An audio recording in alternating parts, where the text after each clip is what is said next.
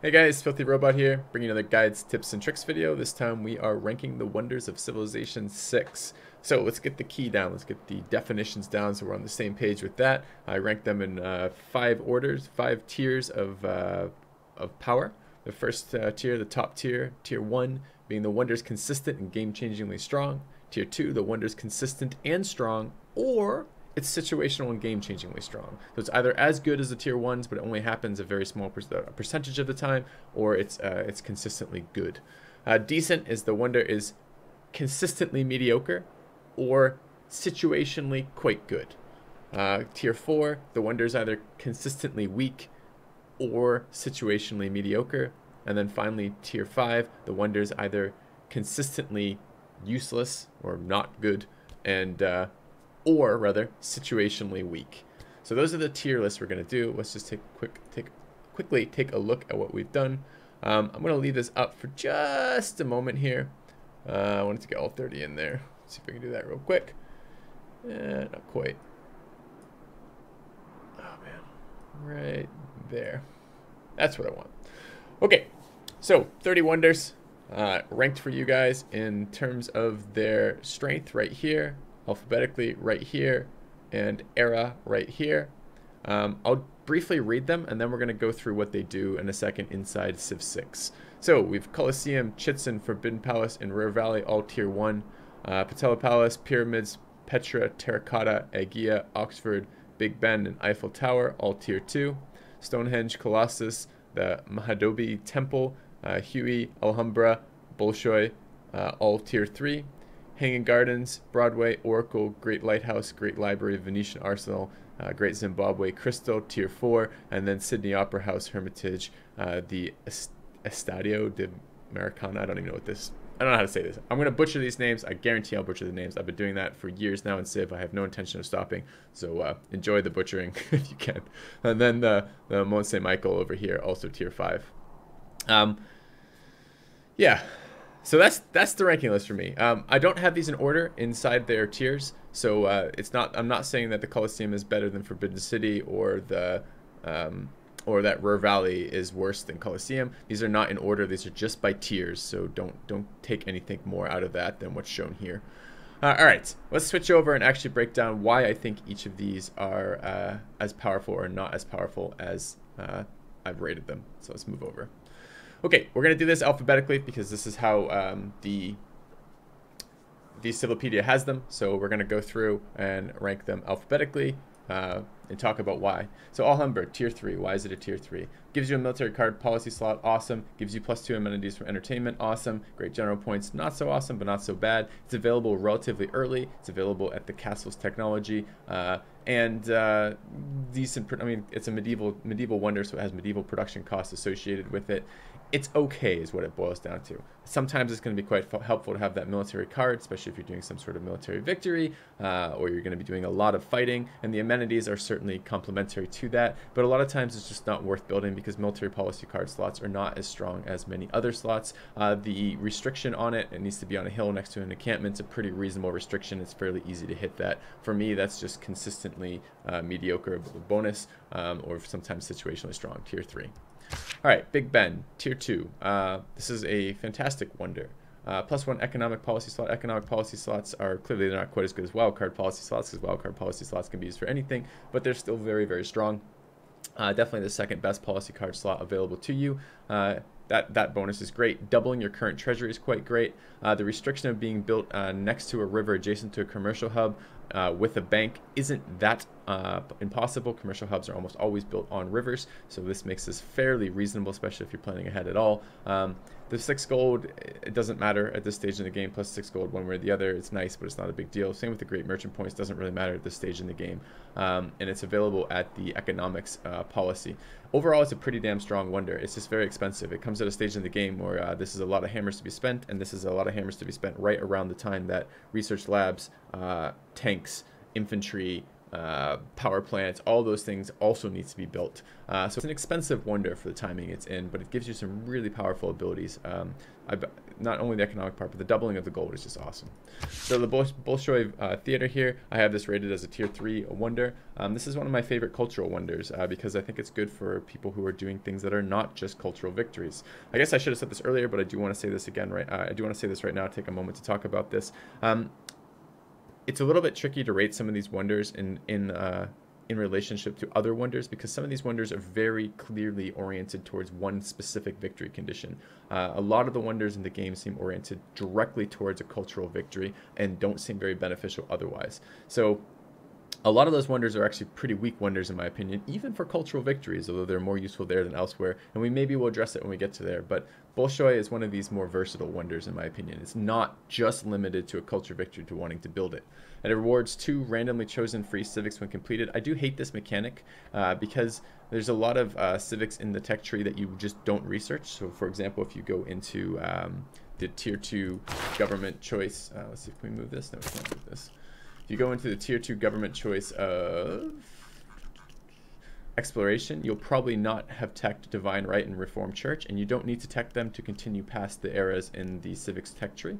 So you could very easily be in urbanization with never having picked up Reformed Church or Divine Right, which means when you do something like uh, Bolshoi Theater, uh, you're going to have the uh, chance that you'll end up getting uh, a free tech, free civics tech that is in a very earlier previous era and therefore gives you very little culture for it. However, um, that is not all that high of a chance, especially you can uh, you can choose to tech those for maybe one turn, two turns at that stage in the game to remove them from the available options. And getting two randomly cho chosen free civics techs is quite powerful.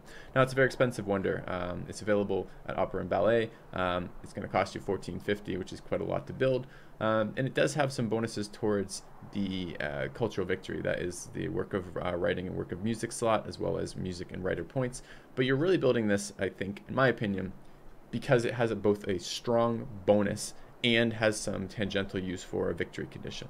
So you might you might build this if your culture game isn't that great but the rest of your game is going quite well. Even if you're not going a tourism victory you might still build this. I think it's a pretty solid wonder a tier 3 wonder all right Broadway. Broadway, I think, is a little bit less good. Uh, it's available um, at mass media, and it's I, for me, it's a tier four wonder. You get one free random atomic era civic boost. Boosts, of course, are half as good in the base game as getting a free tech. So this is a quarter as good as Bolshoi's bonus, since, since you're only getting half of one of the eras.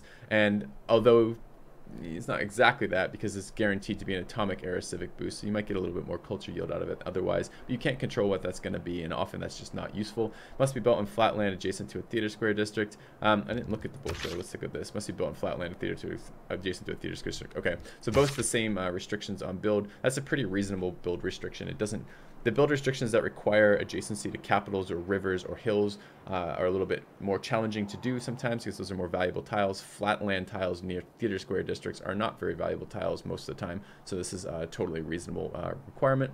What is it giving you? It's giving you writer musician points as well as two works of musician slots and two and one work of writing slot. Um, in the late game, there is something to be said about uh, work of musician slots. They're very powerful in terms of the tourism they generate, um, and they don't you don't have a ton of them. Although you do have access to uh, broadcast centers to build a fair number across your empire. It's gonna be useful sometimes when you need those musician slots, but the only reason why you're building it is for the musician slots. Whereas you might build uh, Bolshoi for the culture that you're essentially getting out of this to catch up in culture if you're not having a great culture game. The only reason you're ever going to build Broadway is because you need those slots. Furthermore, at this stage in the game, writer points and musician points aren't all that important. You're going to be running a lot of um, uh, projects in this stage of the game if you're trying to win uh, a cultural victory to generate those great people points very, very quickly. And three isn't all that consequential at this stage in the game. All right, let's move on. Chichen. Chichen is one of the absolute best wonders in the game. Uh, based on my rating system, one of the top four wonders in the game. This is two culture to all rainforest tiles uh, and one production for all rainforest tiles in this city. Must be built on a rainforest is the only restriction. Um, Rainforest tiles don't improve at all uh, otherwise. You have to remove them to get any bonuses out of them pretty much. Uh, and this takes, and but they're quite strong. Like bananas are one of the strongest starting tiles out there. Uh, hill bananas are three food, two production, which is absolutely incredible. Uh, and regular hill rainforest is two food, two production, which are quite good tiles in the early game. This is a mid-game wonder. This is uh, available at guilds, which is fairly early on. And it turns those mediocre tiles that were good in the early game, and then as the tiles got improved across the course of the game, you can't improve your rainforest tiles. They're now only kind of mediocre tiles, and it makes them really, really good again. This is uh, the, the cities you're going to build. This are going to be cities that actually have rainforest clearly. So, in in that case, every single tile that you that you had that you were working prior is now basically going to be plus one production and plus two culture. I know it's hard to say this in a consistency thing because you're not consistently going to have rainforest. So some games you are and some games you're not. And it's a little bit challenging for that because this is the tier one wonder in my mind. But the bonuses are just so incredible. This is often 10 culture at a stage in the game where you might only have 30 or 40 culture. Uh, you know, it's it's a huge proportional increase in culture as well as production, which is the best resource uh, at a stage at a relatively early stage in the game uh, in a controlled setting that you can you can choose to do this with. So. I, struggled a little bit putting this as tier one as opposed to tier two. Petra is tier two, and it's a really similar style wonder. I just don't actually think the bonuses of Petra is quite as good, and I think the opportunity cost a little bit higher in Petra. We'll get there in a minute. Uh, but my, my take on this is this is one of the best absolute wonders you can build if you can find a spot to build it. Uh, anyways, Colosseum. This is probably the best wonder in the game if I had to really pick. Um, it gives you two culture, which is okay, three amenities from entertainment, which is really powerful, uh, and then it gives you um, the culture and amenities that you get are extended to each city center within six tiles. Uh, it must be built on flat land adjacent to an entertainment complex. Uh, that's not much of a restriction. Flat land is not very valuable. Uh, entertainment complexes are often placed centrally, so they don't have to be placed near your rivers. You want them kind of away from the city center, closer to other cities, because you want the AoE uh, effect that you get from zoos and onwards. This is an incredible, this is banned in almost all of the games I play right now because it's so damn powerful. And it's because it's very easy to fit three or four cities within this radius in a very early game, which means this is something like, you know, six to eight culture and something like nine to 12 amenities when right when you build this. And you build this super super insanely early. This is available at uh, games and recreation. This wonder is unbelievably powerful. Uh, china is pretty much the king of getting this wonder uh, i think yeah yeah yeah. China because you can rush it with the chinese builders you can't stop china from getting this wonder if they want it and it's unbelievably strong uh, it just makes as i said it's, it's, probably one of it's probably the best if not one of if, it's probably the best wonder in the game so we're not going to do that we're doing tiers but I feel obligated to say that while we're here. All right, moving on. Colossus, uh, tier three in my opinion. Uh, the trade route capacity is a, va a valuable bonus. Uh, it's a little bit expensive at the time it arrives for that. It's uh, it's a fairly early wonder. I tend to build it a little bit later than when I get the tech. I often don't rush it because there's there's cheaper, more efficient ways to get that trade route, like building a harbor or building a commerce hub. But at some point, you'll be able to up your permanent number of trade routes by building this. Um, grants a trader, so you don't have to build the trade route after building it. It gives it to you for free, which is nice. Must be built on the coast adjacent to a land in a harbor district. Uh, that's a fairly easy to fulfill requirement, so it's not uh, much restricted. The three gold and one admiral point are pretty much not even part of this. You're building this for the trade route. That's why you're building it. Um, and in the later game, it's it's mid to late game probably mid game is when you're really going to want to build this. I don't recommend just rushing the tech to rush this because it's going to take too many hammers relative to the development of your city at the stage when it's first available. But it's solid. It's consistently solid. You can you can almost always fit a Colossus in in your empire. Uh, if you're if, if you have any coastal access at all, even just a single city, you're probably going to get this. And it's not super high uh, uh, it's not super highly contested. Uh, so if you pay any attention to it, you can probably probably pick that up fairly easily. Uh, and the bonus is quite good. All right. Let's move on to Cristo Redentor. I have this at tier 4. Um, I don't think very much of this bonus. Uh, tourism output from relics and holy cities is not diminished by other civs who have researched the Enlightenment. I just don't think uh, relics and holy cities provide a very large portion of your tourism most games. Now there's going to be those exceptional games where you find this is to be useful, but this is pretty late in the game too for this to arrive. At this stage in the game, the four culture isn't all that relevant. Uh, the must be built on hills portion isn't all that relevant. The doubles uh, uh, tourism. Although to be fair, hills are more valuable than flatland tiles, so being have to be built on a hill is a little bit annoying because it may remove some of your valuable production tiles. Um, and then finally, the doubles uh, tourism output of seaside resorts across your civ. This is maybe useful. I don't. Uh, the couple times I've done tourism wins, I have tried to use seaside resorts and found them very difficult to fit into my empire. Um, so having a double on on any tourism stuff is nice. That's going to be helpful uh, for your tourism when you want all of that tourism you can get. Uh, but this is a uh, I, I had trouble building very many of these seaside resorts when I was attempting to win with tourism. So this may not be all that big of a bonus. Now you might find some situations where you can manage to have cities that just have about dozens of seaside resorts, in which case this is going to be better. But, you know, that's the restriction. And then finally, it's a fairly late wonder again. And because it's a late wonder, the, the production cost is very high. So the opportunity cost of building this is quite high. You're going to be a state stage in the game, especially if you're playing against players where it's very clear what your victory condition is at that stage in the game. People are going to know what's going to happen. And to stop a player going tourism, one of the things you do is you kill them.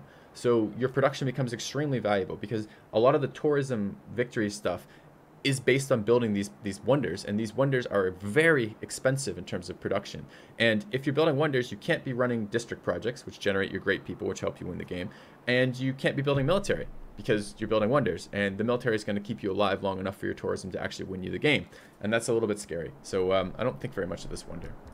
Eiffel tower. Um, i think a little bit more of this wonder. I actually have this as a tier 2 wonder. Um, and that is because uh, what it does this does something for your empire that is really important. Again, this is going to be a tourism only wonder, but I think this is probably the best tourism only wonder. Must be built on flat land adjacent to city center. That's a pretty harsh restriction. Uh, city center uh, tiles are very high value, the ones adjacent to your city center. You're going to have a lot of districts placed there, and a lot of the wonders in the game are going to be placed around those areas too. So that is a bit of a pain. Uh, but all tiles in your civ gain plus two appeal. Appeal is used for parks, it's used for seaside resorts, it's used for tourism as a whole. Um, it's it lets you take dead land in your empire that normally wouldn't be helpful and actually make it push you towards a tourism victory and lets you do that without having to settle more land. Uh, I think it's really quite powerful. Again, there's all the same problems I just talked about with building it. It does have very high um, opportunity costs, but in my opinion, it's one of the better tourism wonders to uh, to get into your cities if you can, because it's going to let you have access to national parks and seaside resorts in places that you wouldn't be able to do otherwise, uh, which is just going to be a very very solid bonus. Um, clearly, if you're not going tourism, it's fairly useless, um, entirely useless. In fact, uh, I guess it does boost your neighborhoods very, very slightly, but that's not not something to consider building it for. Um, and because it is a tourism wonder and probably going to be pretty uncontested, you're probably not going to have a lot of games where a lot of players are going tourism. You may be able to build this in a second or third or fourth city, a city with decent production but not your capital, uh, and not cripple your economy having to build this at least potentially. Uh, so I think I think probably the best of the tourism wonders out there. It's low tier two. If I had to put that in some sort of like uh, competitive ranking, it'd be kind of low on the tier two list. But I think it's probably the best of those wonders. All right, uh, the Estadio do Maracana. I guess uh, I'm probably butchering the fuck out of that. I know I'm butchering the fuck out of that. Don't worry about it. Um, this is too late in the game to be relevant. I actually have this as a tier 5 wonder, one of the worst wonders in the game. And but you're, you're going to be like, but Filthy, you thought Colosseum was so good. And this is basically as good as the Colosseum. It gives you six culture, and it gives you two amenities from entertainment for every civ in your city. And the restriction must be built in flatland adjacent to entertainment complex really isn't a bad restriction whatsoever. So why so low? Because it costs 2,800 fucking hammers on online speed. Um, you could build, I think, I think in comparison, I think a stadium is like 600. I think is the comparison. Maybe it's eight, but I think it's 600. The problem is this: Stadiums are already area of effect at that stage of the game. In other words, Colosseum is so amazing because the first area of effect amenity boost you have isn't till zoos, which is really, really late, and Colosseum's super, super early. Um, Colosseum also gives you a huge culture boost at a very early stage in the game. Percentage-wise, if you get six or eight culture at the at the time that you have that, that's a huge boost in culture. At this stage in the game, six culture is not a huge boost in culture, and there's other cheaper ways, cheaper hammer cost ways to get this amenity bonus. This is this arrives so late in the game that you're probably probably didn't know it was in the game at all. If you're like me, you're probably like, "What the hell is this wonder?" Oh, I've never built it because the requirements are ridiculous and it's so so late in the game that I don't care. And, and that's what you're just gonna find. It's probably better to build zoos than this anyway. Zoos are area of effect to begin with. Uh, the way you place your cities, zoos are probably going to hit somewhere between three and four cities on average, which means that every zoo is, you know, what, one fifth the cost of this thing and provides, if you have eight cities in your empire and your zoo's hitting four, it's like one fifth the cost and 50% of the bonus for building a zoo. Forget, forget the wonder. And you can build zoos in all of your cities. It's just not a wonder that is going to have any impact on the game whatsoever. All right, Forbidden City. Um, this is probably this is this is a tier one wonder. This is one of this is probably my all-time favorite wonder in the game to build. It's the most fun wonder to have in your empire, uh, and it's also um, probably first or second best wonder in the game, probably up there with Colosseum. Uh, one one wildcard policy slot must be built on land adjacent to the city center. This is doable. There's no flat land requirement. This is just land on the no no it does say flat land. Excuse me. Just land adjacent to your city uh, requirement. So uh, that's that's a little bit harsh that restriction, uh, but this is a, a wonder that you're going to save that land for. This is this is the premier wonder for that for that particular tile uh, tile assignment. Uh, plus one wild one wild card policy slot. We know what that does. is going to give you a uh, super versatile uh, card slot that you can use the rest of the game. Gives you five culture. This is a Renaissance wonder, so five culture at that stage in the game isn't a huge amount, but it's uh, it's still a decent chunk at that stage in the game, so that's nice. Um, requirements, printing, uh, build costs fairly reasonable. This is going to be highly contested uh, because this wonder is so damn good. Uh, there's not a lot more to say about it. It's just wildcard policy slots are just amazing. You're, you're, going to be able to use those to enhance your science, enhance your economy, uh, your, your, excuse me, your culture, to enhance your production. You're going to be able to do whatever you want with those wildcard policy slots because they're wildcard slots, and they're just this is just one of the best wonders in the game. All right, let's move on to Great Library. I have Great Library in uh, tier 4. Uh, the problem with Great Library is that it comes later than its bonuses apply to. It gives you boost for all ancient era and classical era technologies, um, but you get it at the end of the classical era. So a large portion of the ancient and classical era technologies you already have by the time you're available to build this. Um, and the rest of its bonuses aren't very good. Two Science is quite weak. Uh, even at this stage in the game that it becomes available, two science is quite weak. One great scientist point is okay, but it's not great. Uh, and two great works of writing slots. This is surprisingly the only reason why it made tier 4 for me instead of tier 5. And that might even be me uh, not yet caught up with the patch. The most recent patch gave uh, gave amphitheaters two writing slots, so writing slots are now a little bit more common across your empire than they were before. Um, the only time I ever build this this Wonder the Great Library is when I'm going a tourism victory and in the late game when it only costs me like a couple turns of builds to do it, like maybe a three or four turn build, then I'll pick it up and I'm picking it up for the writing slots because the rest of its bonuses are just too useless at the time that it's actually available. I don't think very much of this Wonder at all, but uh, writer slots were a little bit painful and getting cheap writing slots in the late game uh, can be quite helpful for your tourism victories so you can keep uh, keep having areas to put those great works of writing in uh, to get that boost. Um, flat land adjacent to a campus district with the library is a pretty reasonable restriction. It's not too difficult to do that. All right, let's take a look at the Great Lighthouse. I have tier 4, I believe, for this. Let me just make sure. Yeah. Uh, plus one movement for all naval units. It's not a bad bonus, uh, but naval uh, as a whole is worse in this game than it was in Civ 5 um, for a couple reasons. Not only for the fact that I primarily play Pangea uh, and that and that's for balance reasons. So if you're not playing Pangea, sure, okay, but you're going to run into less balanced games. Uh, but more because along the lines that because ships because cities no longer have to be settled coastal to get a lot of the advantages of being coastal you can still build harbors in cities that are settled essentially inland two or three tiles away from the coast and build that harbor um, that means that a lot of the times having naval forces doesn't actually allow you to capture cities so yes you can go pillage your opponent's harbors and then get the war penalty for being at war with them and not get the advantage of taking their cities and not get the advantage of crippling their production by capturing their cities. But a lot of the times it's just not worth it to do it. Their, their cities are settled behind hills or inland just far enough that you can't reach them. And a lot of times you're just, even when you have naval access and even when your opponents have cities that are, you know, coastal cities, quote unquote, you still can't do anything with naval units, which just makes this bonus not all that interesting to me. Uh, the three gold, the one great admiral point, I don't think are very meaningful for the cost of the build. It is a fairly early game wonder, so it doesn't cost all that much production. Perhaps in the very late game, you're doing something with battleships or missile cruisers, and you want to pick this up uh, very, very cheaply. But I don't think very much of it. I think it's worse in Civ 6 than it was in Civ 5.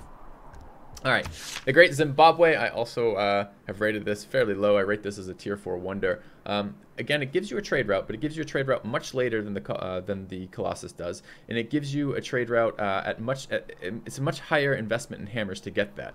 Uh, I think it's something like double the expense because it's so much later in the era, and it's giving you essentially the same bonuses. Um, yes, you do get uh, you get your trade routes from the city game plus two gold for every bonus resource in the city's territory, and you're guaranteed at least one bonus resource if you're building this because you have to have cattle, you have to have an adjacent cattle in the city to build this anyways. Uh, but that bonus in of itself isn't that relevant. Uh, there's not that two gold per bonus resource isn't that much most of the time. You're probably not running a million cities from here. Uh, this starts to get very, very situational in a time when this is going to be powerful. So let's say you had four bonus resources in here, and you had you remember to place your commercial hub in such a place where you could build the Great Zimbabwe, and you got it, and you're getting eight gold off these, and then it's not too terrible, but it's still fairly late, still fairly hammer intensive. It doesn't give you the free trader immediately upon doing that. It's just not a very weak. It's just not a very good wonder. Just it just tends to be so situational that it's, it's that the bonuses are going to be meaningful and if you're not getting the second set of bonuses to be particularly meaningful, then you're just getting plus one trade route capacity. And there's better, cheaper ways to do that most of the time uh, earlier in the game. I don't think very much of this wonder. It's just it's just too weird. The, the, the, the adjacent, the cattle adjacency bonus in particular is just so, so strange. All right, let's move on. Hagia Sophia. Um, for me, uh, this is a uh, fairly decent wonder. So the thing about this is it's going to be good again for very, very specific victory condition. This is a fantastic wonder, a tier 2 wonder, in fact, for a religious victory. And no one else cares about it at all. And that makes it both better for religious victory and worse as, whole, as a whole. So it's, it's really difficult with the wonders being so specialized in victory condition to put them contextually relative to each other. So for me, this is tier two. And this is tier two because if you're going a religious victory and an extra charge on every one of your apostles is unbelievably strong. You're going to be building a million of the apostles and you're going to be running them around for ages and ages, converting everything that you can see, and you need charges for that. So that's really good. Um, the adjacency bonus or the the, uh, the requirement for building must be built on flat land adjacent to a holy site really isn't that big of a deal, uh, and you must have founded a religion isn't a big deal at all if you're building this. Uh, it is give you the four faith, which is probably not that meaningful. Again, uh, it helps I guess if you're building religious victory, but it's not a big deal. It's available at education, which is fairly reasonably early. Um, so at if you think about the way that the timing's going to work on a religious victory, first you're going to invest in if you're not if you're not just rushing against like low level AI or something on a small map, you're probably not going to be able to do this to the mid game at least, right? Because what you need to do is you need to get a sufficient amount of faith generation in your empire going, and then you need to start getting the stacking bonuses for theological combat, which requires mid game techs, uh, civics techs mostly to do that uh, and some infrastructure in place. So at that stage, you're going to be, then you could build this. And no one else is going to build this because it doesn't do anything for anybody else. No one is going to want to waste the hammers building this unless they're going a religious victory. So it's probably fairly uncontested for you. So all those things together make it probably one of the best wonders available if you're going a religious victory and totally useless for everybody else. So where do you put that in a rating? I've given it tier two, man, but it's it's much harder to do this in a tier system than it is uh, in previous previous iterations of Civ because it's just it's, these different victory conditions are kind of messing this up a little bit and the specific, specificity oh wow I can't say that apparently. The uh, the targetedness of the uh, of the wonders here.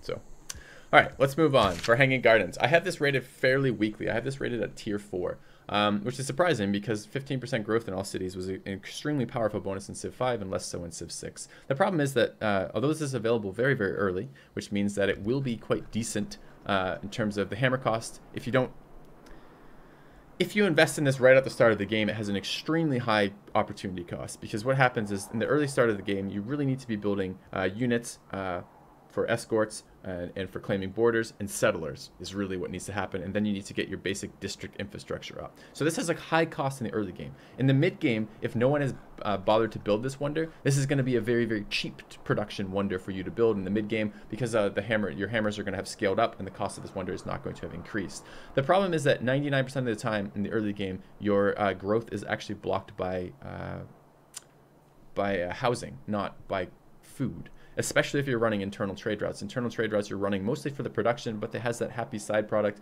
of giving you plenty of food to grow your cities, which means that most of the time you don't need more food in your cities to keep them growing. The problem is always the fact that you're housing capped. Now, in the mid game, when you get access to, I mean, you can think of where this is going to be better. This is going to be better for Congo because they're going to have those earlier neighborhoods, which means they're not going to be housing blocked at some point. They're actually going to be food blocked at some point or amenity block potentially, and it would be useful then. This is going to be useful potentially. I had a game as Egypt the other day, and I just realized how I was trying to utilize their their sending external trade routes to get the gold bonuses, and there is a lot of gold on those, and I was like, oh, this isn't so bad. And then I was seeing the the problem it had in my city's growth. All my cities were just not growing fast enough to plant the districts I needed. This is probably better on a civ like Egypt that has some reason not to be sending internal trade routes. Um, but most of the time, this is probably a waste of your hammers in the early game. It just probably isn't worth it 99% of the time in the early game to build this. There's going to be some exceptions to that. Uh, maybe you have a huge flat city with all the grassland tiles it wants. You might ask yourself why you planted with all grassland and no hills. But hey, maybe you built a thousand farms in that city and it can grow to the biggest city in the world. But I just don't think this is very very useful for uh, most of the games you're going to play it in. Maybe pick it up in the mid to late game cheaply if you can, but don't waste your time in the early game. All right, moving on. Hermitage. Uh, I think very little of this. is one of the worst wonders in the game, in my opinion. This is a tier five wonder. Um, it must be built along the river. That's not. It's not super painful. By the time you're going to build this, this is late enough in the game. Your borders are probably expanded out to three tiles. Uh, river tiles are more valuable than pretty much any other tile out there, so that's a little bit painful. Uh, but you can probably find a flat river tile to build this on that you don't really care about. The problem is, what does it do? It just gives you great artist works and gives you great works of art slots. Um, in particular, the artist points at this stage in the game probably aren't that relevant, and actually, honestly, the great work of art slots probably aren't that relevant either. Uh, you get by building uh, art museums in your cities, you get a ton of great work of art slots. I, I haven't had much of an issue with running out of places to put my artists.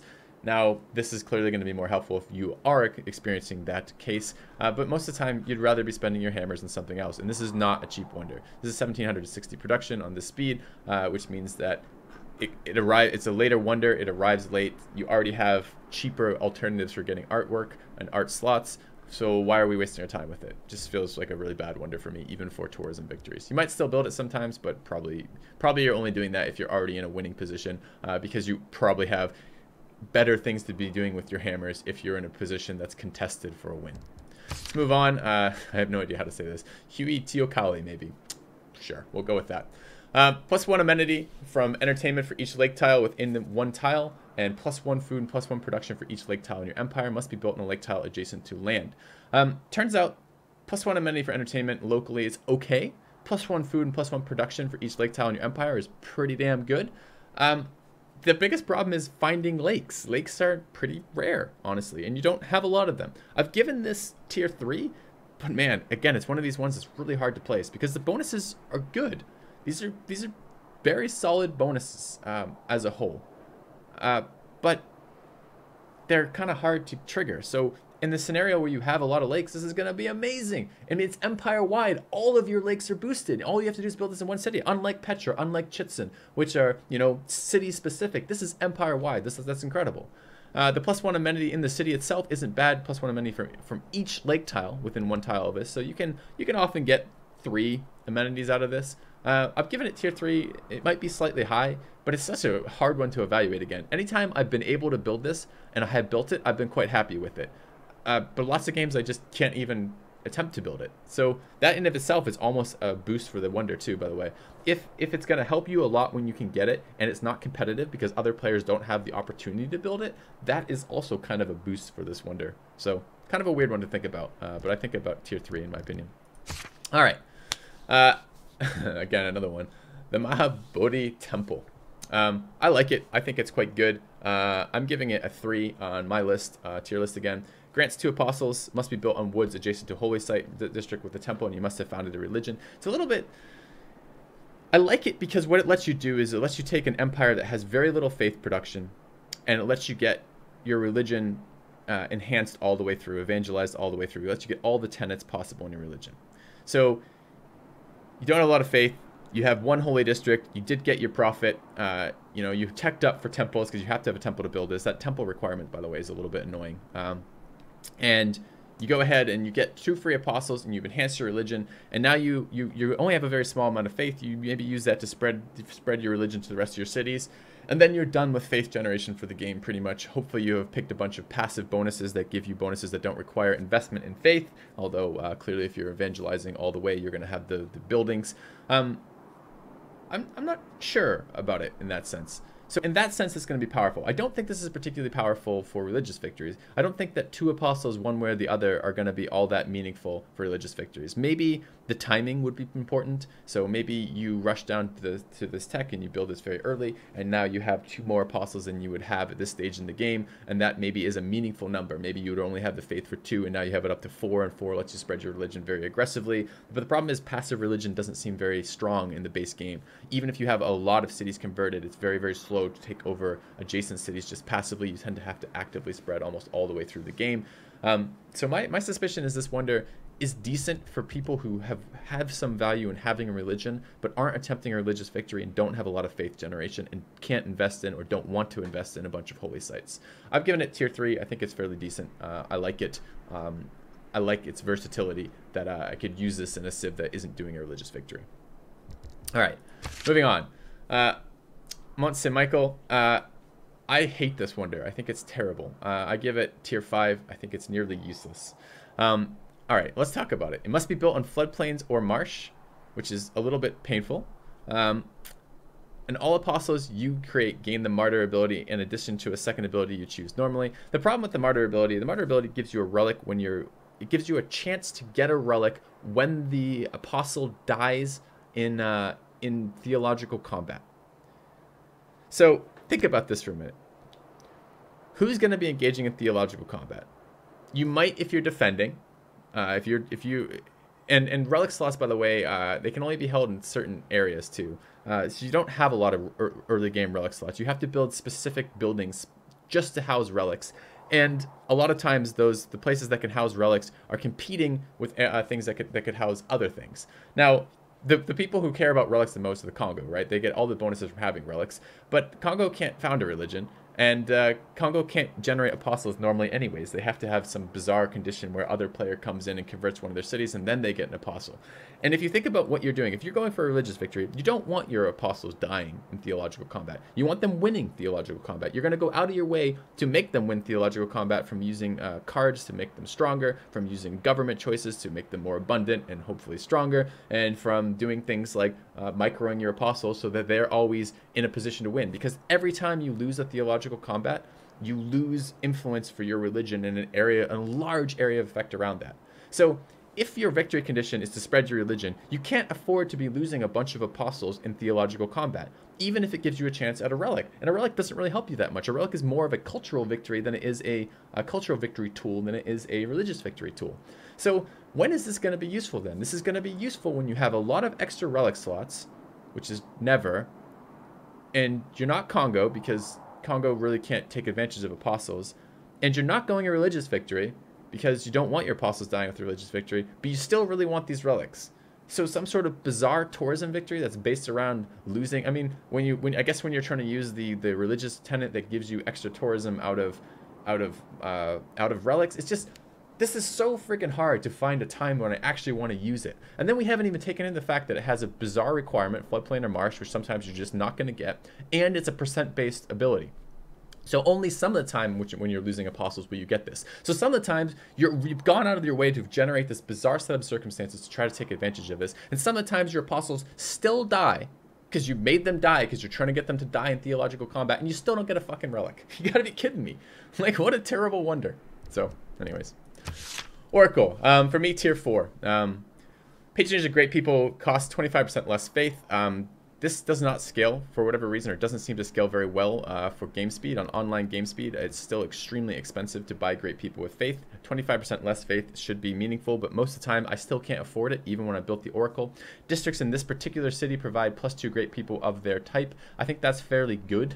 Um, you're probably going to, engineers, scientists, and uh, merchants are all going to be extremely useful. And pretty much every game you play, in, regardless of your victory condition. And additionally, if you're going to add tourism, you're going to get culture from the great people, uh, the, the great writer, artist, musician stuff as well. Um, although it looks like you're only going to be getting writers for the theater square. So just writer points, I guess, which are, of course, the least valuable of the, uh, of the great people points for a tourism victory. It's These bonuses are okay, but they're going to come later.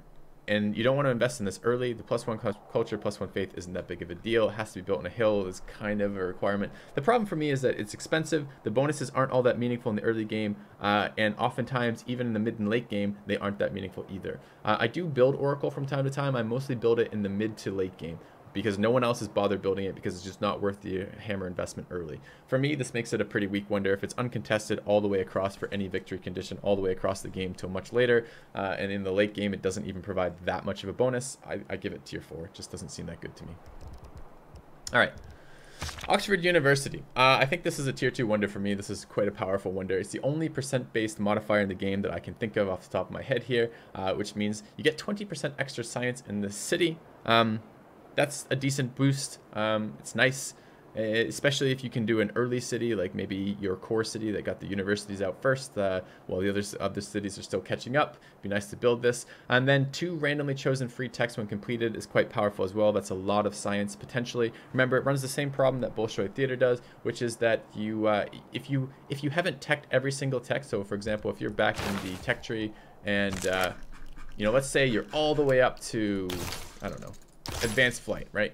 You're up to advanced flight, but you didn't have any uh, coastal stuff. So you didn't you didn't get mil- or you didn't you didn't have any reason to build spearmen, right? So you never had spearmen into pikemen, and you haven't teched military tactics. And military tactics is this stage in the game probably for you. You know, if you look the cost of 150 science there, and flight and radio or uh, advanced flight is 612 science. There's a huge difference in the value of getting a 612 science uh, tech versus 150 science tech, and you can uh, run into that problem. So you got to be a little bit careful when you're doing that, that you do your best to make sure there aren't any uh, texts that you've forgotten from way back when uh, to tech before you finish a, before you finish a, a, a wonder like uh, Oxford.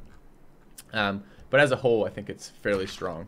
Uh, the the science boost is nice. Uh, the the double random sibs, uh, double random science text is quite nice, and uh, the adjacency to uh, grass grassland plains adjacent to a campus with the university is a really manageable uh, set of bonuses to to get. So tier two for me. Petra. I'm also going to get Petra tier 2. I really struggled on this one, especially when I gave Chichen uh, tier 1. This seems uh, a very similar bonus set of bonuses to Chichen. Uh, they're good bonuses, 2 food, 2 gold, and 1 production on desert tiles. Uh, means that you're going to take Desert Hills from being useless to being amazing. And you guys have probably seen my videos. I rush Petra fairly often when I have capitals that have Petra starts. The problem I'm finding mostly is the opportunity cost of this. Whereas Chichen comes at a time in the game where your cities are established and building a wonder in that area is fairly manageable in terms of it doesn't cost you all that much elsewise. Uh, building Petra, especially early, is very, very draining to your game. The opportunity cost is very high in that stage of the game. It comes at the time when you're building settlers. Uh, so this is often you're choosing to make one city better in, uh, at the cost of getting other expansions out, especially if you're competing with other players for the positioning. Uh, because you're building wonders instead of settlers, you're going to lose settlement spots. And the problem is in Civ 6, unlike Civ 5, having one large city with amazing production and amazing uh, growth isn't as good as it was in Civ 5. In Civ 5, that city could carry your science with things like National College and percent-based science modifiers. That would be fine. But in Civ 6, your science is distributed. Your science is based on having a large number of cities, each with campus uh, districts, which give you a large amount of science, but it's the same amount of science per city, regardless of the population, uh, in a large part. Which means that this isn't quite as good as it would be in Civilization 5. Still very, very powerful. Uh, still quite a good wonder. Uh, the the, the requirements are very easy. Must be built on a desert or floodplains without hills. That's quite a reasonable requirement. Uh, the bonuses 2 2 1 are quite good, and it makes uh, unusable tiles usable, which is quite nice. Um, but I don't think it's quite as good as I think Chichen is. I think it's very, very powerful, uh, but it comes a little bit, it comes early, and because it's powerful and it comes early, it means it's going to be competitive. People are going to go for it. You're not going to be able to pick this up cheaply later, and it comes at a time when you need to be building other things, uh, which is the biggest downside of Petra for me. All right, moving on, Potala Palace. I also have this as a tier two wonder. I love this wonder. It's grown on me a lot. I don't actually, didn't actually think very much of diplomatic policy slots uh, for a long period of time. The bonus here must, or the requirement must be built on a hill adjacent to a mountain. Can be a little bit annoying. Uh, it's sometimes a little bit tricky to find mountains, and sometimes, uh, and often you don't want to give up your hills because hills are good. Um, however, one diplomatic policy slot right about the time you build this. I tend to build this a little bit later than I get the tech for it uh, because what I'm actually setting up for is spies. This allows me to keep my envoy production coming up at a reasonable uh, reasonable pace. It lets me run the plus two influence points uh, for envoys while simultaneously running the spy slot. And the spy card gives me uh, not only the production portion towards spies okay, but really it's the, the reduction in time it takes for my spies to complete their missions, which means they level up faster, which means I get my spies to high levels uh, well before I need them for things like sabotaging production and sabotaging spaceship parts or whatever else I'm going to do with them. I quite like this. This has grown on me a lot. Um, again, it just turns out that having extra uh, card slots in your governments is quite strong, and this, this one, this was another uh, ability to do that. So pretty good. Uh, pyramids, also tier 2 for me. Um, I really like the pyramids. You get a free builder when completing them, and all your builders for the rest of the game have one extra charge, which is a nice improvement. It just must be built on desert, uh, including floodplains, but without hills. Those tiles are useless if you're not building Petra anyways. They're, they're still fairly useless if you have built Petra, so that doesn't cost you a tile you care about. All you have to do is have one of those somewhere in your empire to build this. The problem is this is contested. It's a fairly highly contested uh, wonder, uh, because everyone wants it because it's good. And if China's in the game, good luck. You're not getting it. So, so just be aware. Um, but it's a good wonder uh, as a whole. Tier 2, just solid. Ruhr Valley, uh, I think this is the last Tier 1 wonder that we haven't talked about. Uh, it's 30% production in this city and plus one production for each mine and quarry in this city. Uh, the requirements are a little bit harsh. Must be built along a river adjacent to an industrial zone district with a factory. Um, that can be a little bit challenging, especially if you're settling cities along rivers as close as you can. You sometimes just don't have tiles to build this. Uh, but if you can find a city to build this in, this is an amazing set of bonuses. Production is king uh, in this game. It is the best of the resources available. And this gives you a hell of a lot of it, uh, especially if you have a city with a decent number of mines and quarries. Just as a whole, very, very, very powerful wonder. Um, comes at a time where, you, because it requires the factory, and you're going to have tech factory, tech probably relatively early. It's going to be an expensive wonder to build, uh, and if you can get any of the engineers to rush it, it's going to help a lot. Uh, but it's very, very good in the late game. It's going to let you get knock out those spaceship parts or uh, some late game wonders or late game military at a much more efficient pace than you would be able to otherwise. Uh, very powerful wonder, uh, probably one of the top, in my opinion, judging on the tier, it's one of the top four wonders in the game. All right, moving on. Stonehenge. Um, for me, I have this as tier three. Uh, what it does is gives you a prophet. You have to build this on flat land adjacent to uh, stone. It's an early game wonder. It's available super early. It's available at astrology, uh, and it gives you a prophet, and then it allows you to found a religion on Stonehenge as opposed to a holy site. Now that would kind of be awesome, I think, if a religion wasn't a little bit weaker. If, if religion was a little bit stronger, this would be better, of course. Uh, but the other problem is Stonehenge doesn't let you build a shrine, and it doesn't let you build a temple. So you can't spread your religion. You can't get missionaries without a shrine, and you can't get apostles without a temple. So you can't make your religion, you can't evangelize your religion and give it extra beliefs without uh, building a holy site and a temple, anyways. And you can't spread your religion without building a holy site and a shrine. So yeah, you're going to get an earlier religion, and the religions aren't. There are there are competitive tenets in religions. Like in other words, there are some beliefs that are better than others. So getting an earlier religion is going to be useful. But as a whole, I just don't think very much of early religions. So yeah, you can grab Stonehenge and get Defender of the Faith and um, I don't, I don't know whatever whatever uh, initial belief you want to take, and that might be reasonable. That's that might be worth doing. You know, sometimes that is worth doing. This is why it's tier three as opposed to tier four or tier five.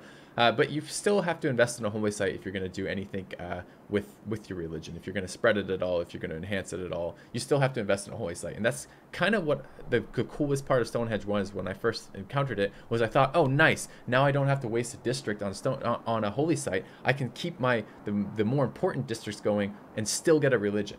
Uh, and it just turns out that you can't really do that with Stonehenge. You get first religion because of Stonehenge, but you still have to invest in holy sites. So tier three for me, not great, not bad.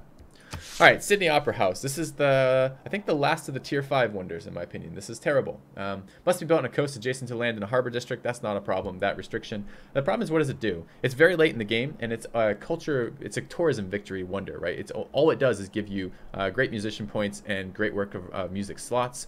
Um, and but it also gives you a large portion of a large amount of culture. Like this is this is what you're paying for. You're paying all these hammers, and it's a lot of hammers. Three thousand three hundred hammers is a lot of hammers in the late game for all the reasons we talked about, including opportunity cost of what else could you be doing in that that stage of the game. And it's giving you eight culture, five great musician points, and three great works of uh, music slots. Great work of music slots are great. Don't get me wrong. This is the part. This is the best part of this wonder by far because you are going to want those great works of musician slots. Uh, musicians are very efficient at uh, generating tourism at this stage in the game. The problem is eight culture at this stage in the game is useless. It gives you no other bonuses. You're going to have a ton of culture. If you're going a tourism victory, you're going to have a ton of culture. Eight culture is not a meaningful amount at this stage in the game to build it, and probably the great musician points are similar. Yes, they do help, but you're probably running uh, uh, projects at this stage in the game to generate the bulk of your uh, great people to finish up the tourism win. So I just don't think very much of it. It's too late for what it does, and it doesn't. This this bonus doesn't make sense at this stage in the game.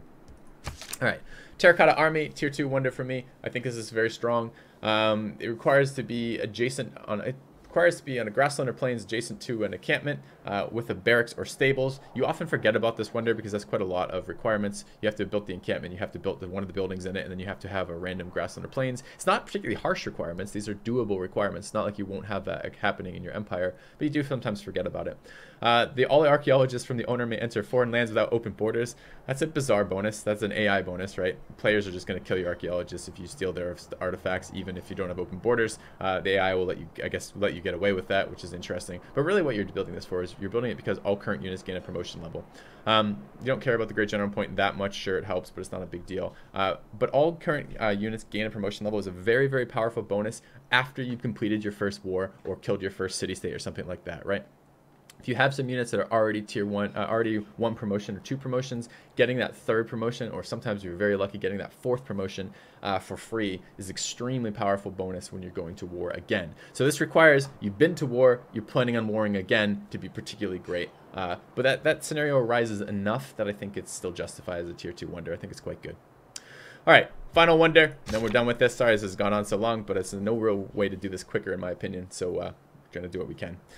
All right, Venetian Arsenal. Receive a second naval unit every time you train a naval unit. Must be built on a coast tile. It's adjacent to an industrial zone district. It gives you two, two engineer points um, and is a fairly cheap wonder. Honestly, this isn't that bad, 920, uh, depending on what you're doing. The problem is, of course, uh, so I guess I should tell you the rating. I have this as rated as tier 4, which is crazy because it gives you essentially the Scythia ability of getting double double units uh, from this, this, this city uh, but although it's only naval units, and that's the problem, right? Naval units just aren't all that good for the reasons we've talked about already in this video. Maybe Pangea bias being part of it, but also part of it is the fact that uh, you can you can take advantage of the coast without having to settle in range of naval units, which means that having naval units is much less of an advantage than it ever has been before. And because you can settle off coast, that means even if you have the dominant navy, you also have to have some army so you can actually capture cities. Um, this these these these bonuses are, or these requirements for building it are fairly restrictive. Uh, it's not often you want to put industrial zones on the coast uh, because industrial zones want to be adjacent to as many hills as possible. And the second you settle it against the coast, you've already lo lost half of your tiles uh, that can't be hills anymore because they're coast tiles. So it's it's rare that I want to put industrial zones on the coast. Uh, and it's rare that I want to build a lot of naval units, and combined, that makes these bonuses just not all that strong. All right, guys. Hopefully this was helpful. Sorry this has gone on so long, uh, but I, you guys have been asking. Please, Filthy, do a Wonder tier list. So here it is, the Wonder tier list. I'm sure there's a lot of wiggle room for uh, defining these, especially when it comes to the uh, kind of specific specificity of uh, the various victory conditions, which means that some of these wonders are going to be really useful for some of them and some are going to be totally useless for others. So I'm sure there, the ratings will be all over the place in terms of what you guys agree with and don't agree with, but hopefully the breakdown of how strong each of the wonders are when you talk about how the bonuses actually apply is useful in, uh, in of itself. Anyways, guys, thank you very much for watching. If you enjoyed it, please hit the subscribe button here on YouTube and come check me out on Twitch, and uh, I will see you guys soon. Thanks for watching.